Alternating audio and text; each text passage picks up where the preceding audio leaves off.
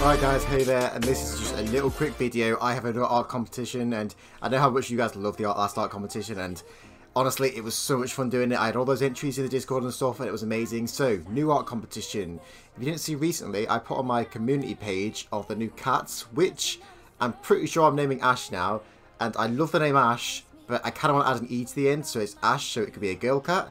So it's like Ash, and it sounds better, because I don't particularly like the name Ash from Pokemon and stuff, because it seems a bit like, uh, Everyone knows that name already, so maybe Ash with an E on the end would be awesome.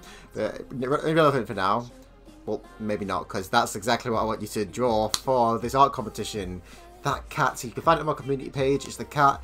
It actually has um, different coloured eyes now from the community page because that's changed the eyes to do with like a green screen error and stuff. So I'll make, put, make sure to put a picture in here of the actual actual eye colours but okay, I want you to basically draw this cat any way you want. Honestly, just it's it's not a competition. It, you you're the one chooses how you do it. You can do it. I'm gonna leave it all up to you.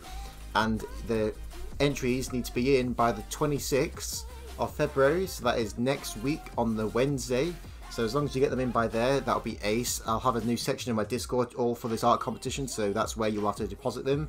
The Discord link will be in the description, so you can go ahead and go there, and that's where you place all these love the entries that I'm hoping to get if I get even one. I, I'm not going to get one, but that's where they need to go anyway, and I think that's about it. Yeah, Ashe the cat, make sure let's draw a nice picture of him, and that's Ace. Alright, I'll see you guys next Wednesday for reviewing all these. Alright, see you then.